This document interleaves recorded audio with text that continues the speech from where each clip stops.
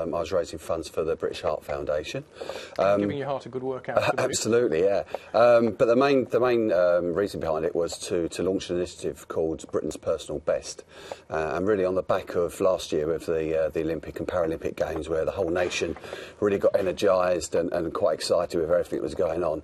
It really is part of the uh, Olympic legacy to get people to undertake a challenge um, or a, a task um, that they've never attempted before. Um, it doesn't have to be as extreme as as, uh, as what I've done. Um, it could be, you know, learning how to bake a cake, or to dance, or to sing a song, or even if they've never run before, just to run 1k. That that would be uh, that would be a, a personal best challenge. And uh, how long does it take you to get up the Gherkin?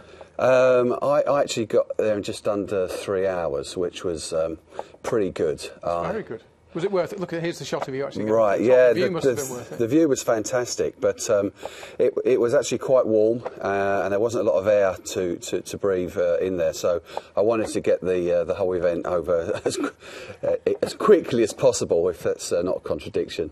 I mentioned the marathon, that's you doing the London Marathon there, but you, you were just telling me before we came on, not only did you do that, it took five days, slowest marathon ever on record, but you also did an underwater marathon. Tell me about that. Yeah, that's right. Um, I, I had to train for six weeks to qualify as a diver, and um, I did a, a marathon walking from one end of Loch Ness um, to the other. Um, and we made up a little bit as well because Loch Ness is 24 miles long, so we just had to make up the 26. And you had to stay towards the edge so you weren't too deep, obviously. Yeah, yeah, I wasn't allowed to go deeper than, than, than 30 feet un, underwater. Um, How long did that take? that took me 12. That took me 12 days, and I only saw two fish in that time. Really? So, And yeah, no monster? No monster. So That's a shame. That would have made the story even better.